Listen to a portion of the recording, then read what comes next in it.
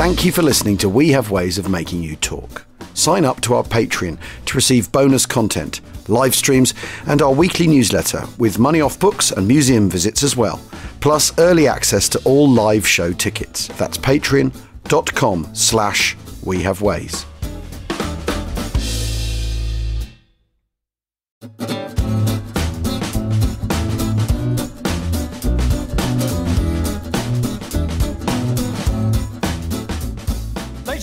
Think we need, we need at first to, um, to cast our mind back to the Belgium of the winter of 1944. Um, and you all need to wrap up now and feel very cold. Yeah. Um, and imagine the snow and the ice outside, um, and you're clustering in here because it's the warmest possible place to be. Um, and you're all huddling up together because you're so cold. Um, got it? Does that make. It's so easy to relate to right now, isn't it? Freezing cold, ice. So, John, if you didn't know, is in charge of, of uh, uh, We Have Ways in, in the States, which is an awesome responsibility. Um, and uh, we're very bloody lucky to get him over here, actually, um, to talk about one of his hobby horses uh, and, and, one of mine. Um, so, Battle of the Bulge, 1944. Um, what we'll do is about half an hour's chatter, um, and then uh, some time for questions afterwards. So first of all, let's let's kick off with a, a counterfactual. John, did the Battle of the Bulge have any remote chance of succeeding? For the German perspective? From the German perspective. I, I, mean, I don't think so. Um, I mean, even as it was, everything had to go right, and a lot did go right for the Germans in terms of weather. Uh, they got the element of surprise. They uh, they're happy enough to, to nail a, an American sector that's really thinly held. Uh, but were they really getting to Antwerp? When you think about the larger strategic object of the, the offensive, are they getting to Antwerp? Are they going to cut off the uh, British 21st Army Group from the, the U.S. military forces to the south? I think that's highly unlikely. But if we even get the broader scope, the idea of fracturing the coalition in such a way that all of a sudden the Anglo Americans are going to join forces or at least uh, negotiate some sort of end to the war, uh, short of unconditional surrender, I think is is really quite, you know, fantastical.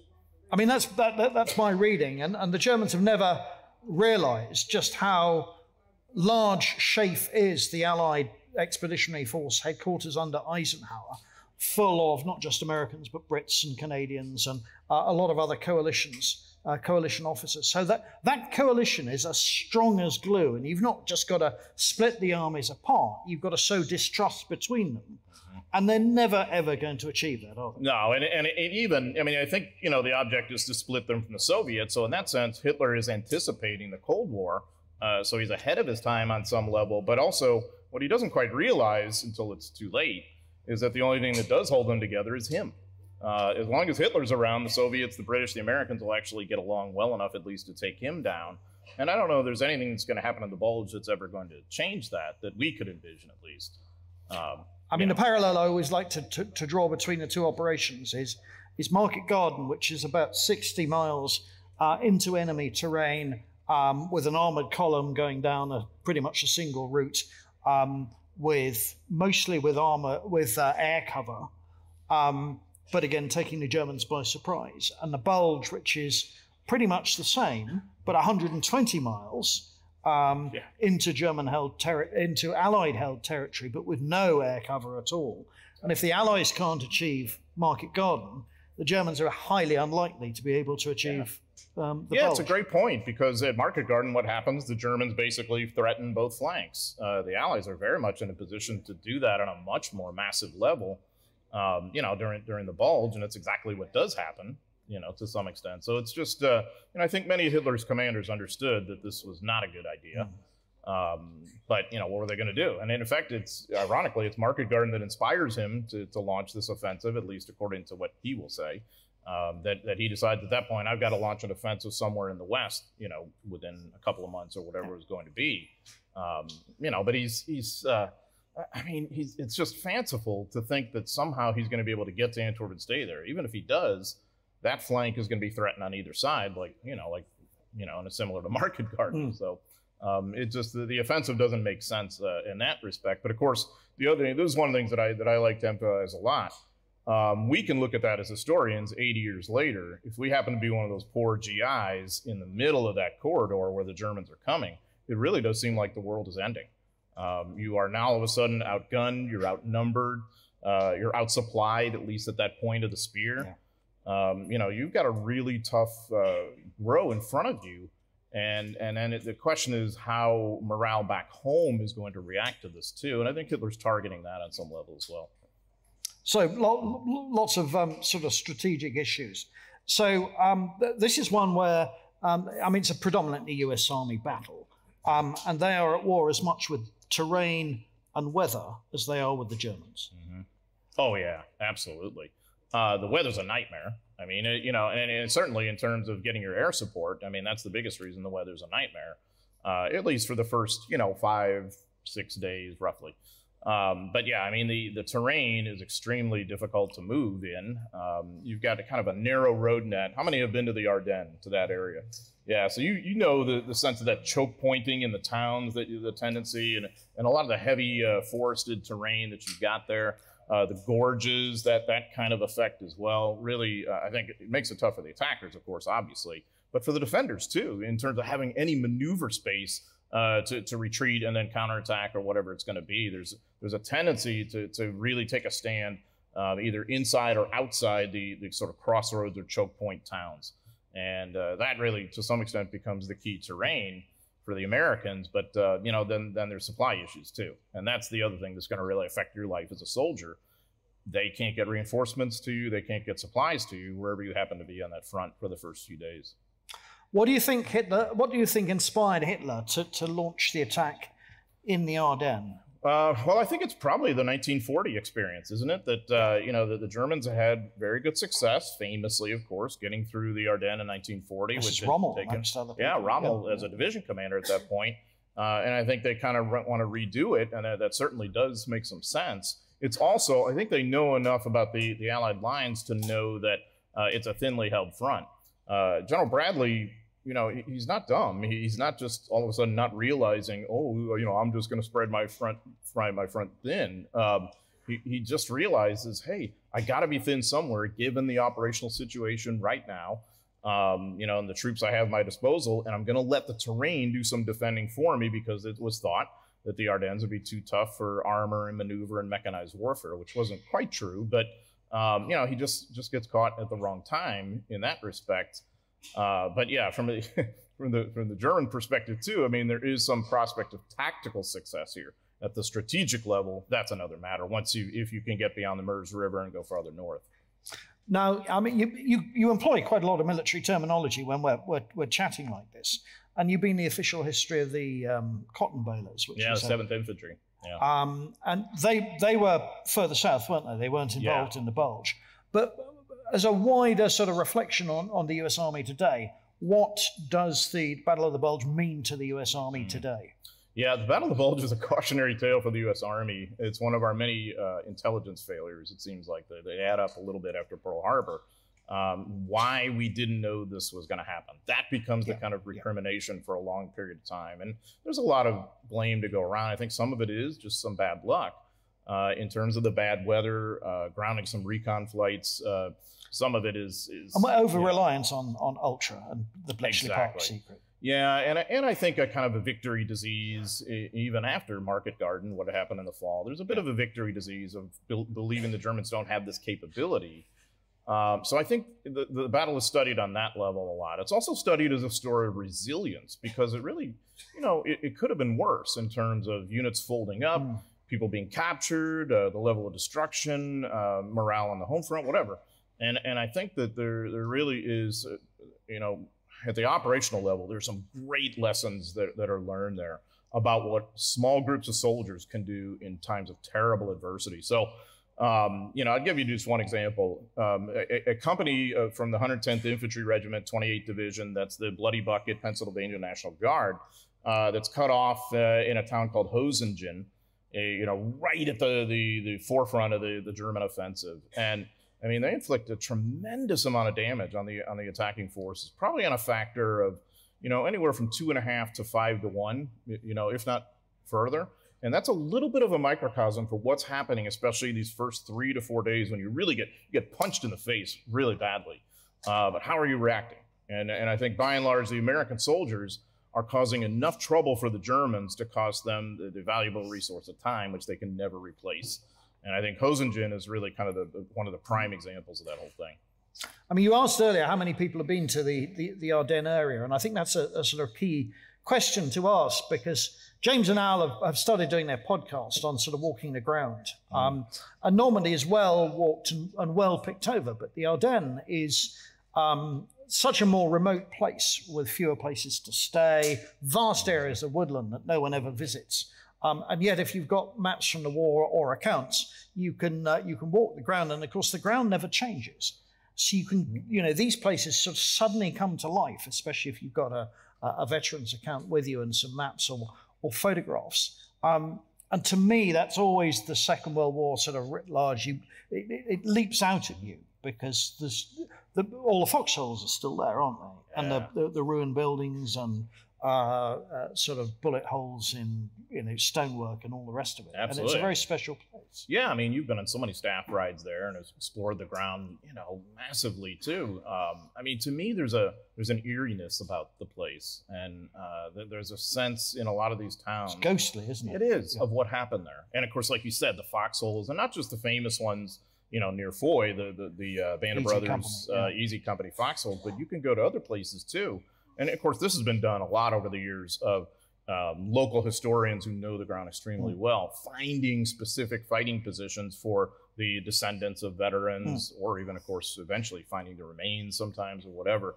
There is a kind of a, you know, unusual, I guess, I suppose, in a lot of Western Europe, a kind of passed over aspect to the place. And, uh, and, and it does, it gives this, this kind of eerie and forlorn kind of feel to it, in, in my view. And it, it, to me, it's always, too, um, the, the, memory of this is kind of forefront, which isn't always the case at, at other battle areas where redevelopment comes in, time moves on, things, other things happen. Um, the, the Ardennes is the Ardennes in terms, like you said, the ground doesn't change. And I think that allows us to understand it maybe a little bit better. I mean, it is a horrible place to be in midwinter and to fight um, especially if you've got no situational awareness. The Germans are all around you somewhere, but you don't know where they are. Um, you've run out of, um, you don't have enough warm clothing because there is no such thing as winter kit and summer kit. It's just what you were issued with on in Normandy, and you, have carried on, and your, you know, your rations or whatever you've got in your pockets, but but nothing else because all the logistics chain has broken down by that. Um, so, I mean, as far as I'm concerned, this is not just a story of resilience. This is the, I mean, it's the US Army's biggest battle, I think, in mm-hmm. terms of numbers of people involved. Um, but it's their finest hour. This is when all the odds are against them in the first few days. And then they turn the whole situation around almost against the odds um, and triumph against the Germans. And, you know, as, as time goes on, perhaps they are always going to, but they did it quicker and they did it more effectively.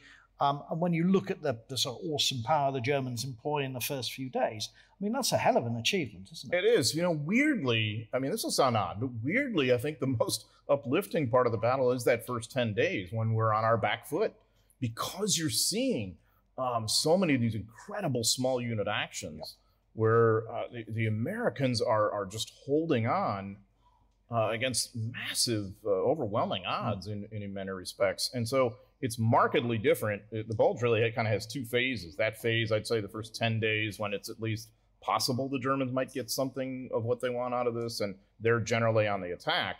But I'd say a day or two after Christmas, now it starts to swing the other way, where the Americans are attacking to retake the And the weather improves, so and, and the weather improves, and allows you to do that. But then it becomes more like the rest of the Western European campaign, this ugly slugging match, day by day of attacking and attriting your units and and eventually, you know, you get some you get some bad weather too mm. by around New Year's of, of heavy snow and, and, ice, and it just becomes this nightmare.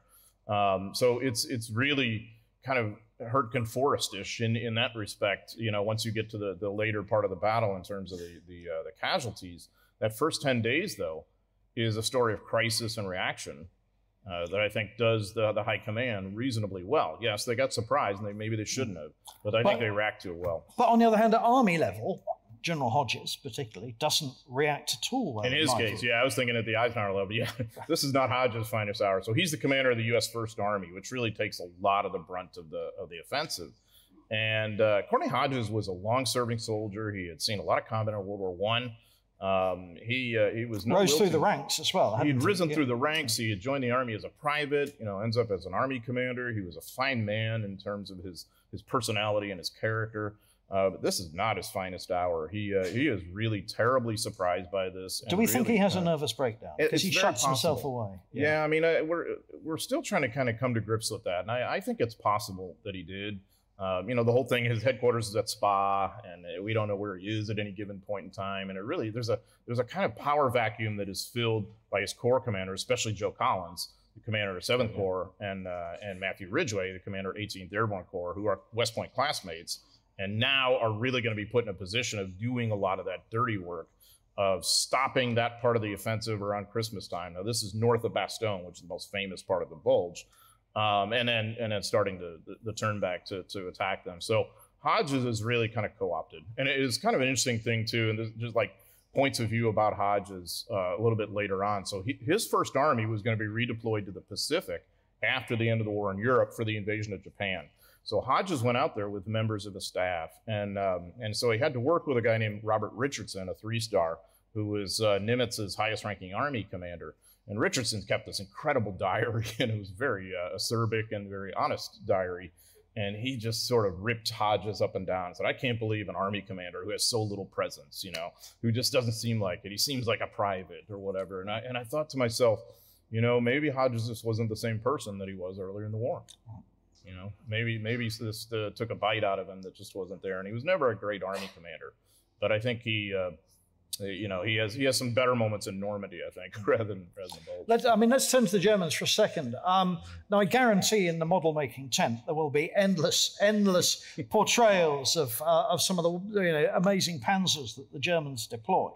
Um, but the, the Fifth and the Seventh Armies, which are both the two armies that have come all the way back from Normandy, um, I mean, one thing that struck me when I was writing about them was was they had more horses than tanks Yep. in their ranks, Yep. um, and they had the same kind of horse horsepower in terms of numbers that they did in the First World War because both were um, featured in the First World War. So they're nothing like as as um, powerful as the German war machine, even in nineteen, even in uh, even before D-Day. Um, They are just a shadow of their former selves, so they're never going to be able to rise to the challenge of mounting this surprise attack and punching through German lines. Right. All they've got working for them is is surprise. Yeah, I mean, surprise. And once that wears out within a day or two, now they're in some level of trouble. Um, were they really going to be able to exploit these breakthroughs? I mean, that's the thing. If you don't have enough vehicles, if a lot of your uh, your logistics are still horse drawn, if your infantry units are still primarily on foot, which they largely are. I mean, of course, there's mecha infantry involved for the Germans in this campaign, but uh, there's nowhere near enough of it. And I, I think our our perceptions tend to be molded this day because the Nazi regime um, wanted a lot of photography on the vehicles and the tanks and all that, all, and the planes to, to, to create that image. But uh, if you were an actual German soldier, part of what you're doing is tending horses. Yeah, and, and the cameras had to turn off um, the, the, uh, the, the, the camera film whenever horses appeared into the shots. Mhm. They never ever Yeah. appear in the sort of propaganda movies. Exactly. They didn't want the horses to appear in the propaganda movies. It just didn't. It wasn't the right image. Uh, so the Germans were. I mean, by this point in time, nowhere near as mechanized as the Allied armies. Um, the U.S. Army had basically forgotten what horses were uh, by 1944. Everything is by vehicle and uh, by expectation almost, to the point where some American commanders worried that their light infantry were too soft, expecting to be driven everywhere, expecting to have tanks help them with every attack, or to have self-propelled artillery. That they'd gotten over reliant on the on the technology and the mechanization, and there's of course I think some merit to that. Uh, but I'd rather have that problem than you know be tending horses and you know that that kind of. And, and one of the problems the. Germans have is is a lot of them don't know how to drive. Yeah. Not only do they not have enough fuel or vehicles, so they're reliant on capturing American vehicles with fuel, but they then can't drive them. So often when they, they capture Americans, they, they ask for drivers to volunteer to drive these things. Yeah. Um, and some do because that, that's a route to better rations or not being shot, the Germans aren't going to shoot the drivers, and that happens at the Malmedy massacre. Right, exactly. They don't shoot the drivers, yeah. and and also there's so many other groups that are being marched east on foot, and some of these guys are wounded. Of course, uh, I mean that really that to some extent that's the worst part of the Bulge is the thousands of prisoners uh, the Germans do capture. And that, that is a really tough go for most of these guys. So if you were a US POW who gets captured in the bulge at any point, and it's probably going to happen within that first three to four days mm. or so. Um, you know, you're looking at a very difficult next six months in your life. Uh, you're probably going to survive, but I would say you're probably going to lose about 30 to 35 pounds on average because Germany's in a bad state. You're not going to be eating well. You're probably going to be moved around POW camp to POW camp. The biggest danger to your life in the meantime, on you're way on the way back to the camp, is probably your own planes, uh, strafing trains, strafing columns, um, and all this happening in, in terrible weather. Um, you know, that's what it, happens to Kurt Vonnegut, doesn't he? to Kurt Vonnegut, yeah, yeah. So he Slaughterhouse exactly, Five, and he, in Dresden. And of course, he eventually is put to work cleaning up the, the mess in Dresden. Writes Slaughterhouse Five based on that. Yeah, there's there's actually a kind of a uh, an overconcentration of some fairly educated soldiers. He was part of the ASTP program, which was Army Specialized Training Program. If you scored really high on the the entry test, um, you could you could go to college degree on on the, the government's dime And the thinking was at the end of that rainbow, you would uh, you'd be trained as an engineer, a linguist, or something like that, and you probably wouldn't be in combat. Well, and as an officer. It, what? it was office making officers as well. Possibly, or maybe NCO, senior NCO rank, or whatever it be. And uh, yeah, so you would, um, you know, you, would be in a pretty good spot. But as, as it happened, they, they basically eliminated the program because they needed so many combat soldiers. So a lot of these guys end up in combat units. Many of them end up in units that are right in the in the middle of the German offensive uh, famously in the 106th Infantry Division, which basically just is uh, is destroyed. Two thirds of it has to surrender. They run out of ammo. Uh, others are in the 99th Division, or you know, to and fro, you know, just ending up as combat infantrymen. And Vonnegut is, is an example of one of them. Uh, another guy, an example I'd give you, uh, he was in the 112th Infantry in the 28th Division, so he's on like like that northern shoulder where they're taking the brunt of the 5th Panzer Army, right in the, the middle of this bulge. And uh, this this guy's name was Hatton, and he ends up as the the deputy command uh, deputy commissioner of Major League Baseball later in his life. You know, so but he's you know his whole life was marked by that experience of fighting for his life in the Ardennes. He was fortunate enough not to be captured, not to be killed, uh, but the, you know who knows how many others were, and uh, were really never the same after that uh, among those who were captured. I think the only veteran I can think of who's still alive who was there was Mel Brooks.